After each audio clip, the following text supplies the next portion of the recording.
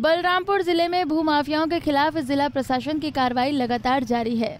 इसी श्रृंखला के तहत उतरौला एसडीएम ने बड़ी कार्रवाई करते हुए भूमाफियाओं से करीब तीन करोड़ की सरकारी ज़मीन खाली कराई। तहसील उतरौला के ग्राम जानुका गुजर में सरकारी तालाब और बंजर ज़मीन पर कुछ लोगों ने अवैध कब्जा कर रखा था, जिसकी जानकारी मिलने पर उप जिलाधिकारी संतोष कुमार ओझा ने मामले की जाँच कराई तो मामला सही निकला।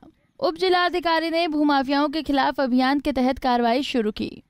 तथा सत्रह दशमलव छह सात एकड़ की तालाब पड़ती बंजर भूमि पर, जिस पर कार्रवाई करते हुए उप जिलाधिकारी कलीम जसराम वर्मा आदि के नाम पर अनाधिकृत रूप से कब्जा कर रखा था, जिस पर कार्रवाई करते हुए उप जिलाधिकारी उत्तरौला संतोष कुमार ओझा द्वारा माननीय सर्वोच्च न्यायालय के आदेश के अनुपालन में मुक्त कराई गई, जिसकी कीमत लगभग तीन करोड़ रुपए है उप जिलाधिकारी उत्तरौला द्वारा अपने न्यायालय में तालाब बंजर पड़ती भूमि पर अनाधिकृत रूप से दर्ज खातेदारों के नाम निरस्त कर पूर्ववत तालाब बंजर पड़ती भूमि के खाते में दर्ज कर दिया गया है।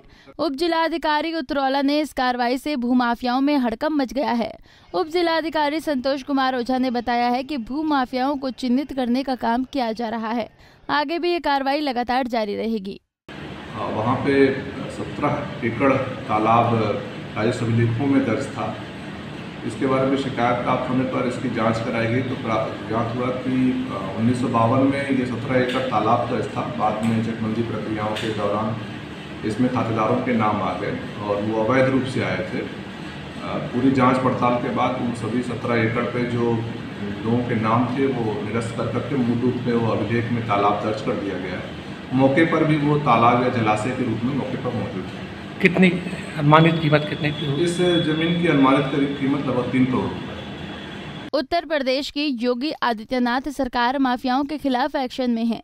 अब तक राज्य में माफियाओं की अरबों की संपत्ति को जब्त कर लिया गया है और लगातार कार्रवाई की जा रही है। और भू माफियाओं पर इसका डर साफ़ तौर पर देखा जा रहा है। पंजाब केसरी टीवी के लिए बलरामपुर से सलीम सिद्दीकी की रिपोर्ट। हमसे जुड़े रहने के लिए हमारे YouTube चैनल को सब्सक्राइब करें और नई वीडियो की नोटिफिकेशन के लिए बेल आइकॉन को दबाएँ। अगर आप ये वीडियो Facebook पर देख रहे हैं तो लाइक ज़रूर करें और ज़्यादा से ज़्यादा शेयर करें धन्यवाद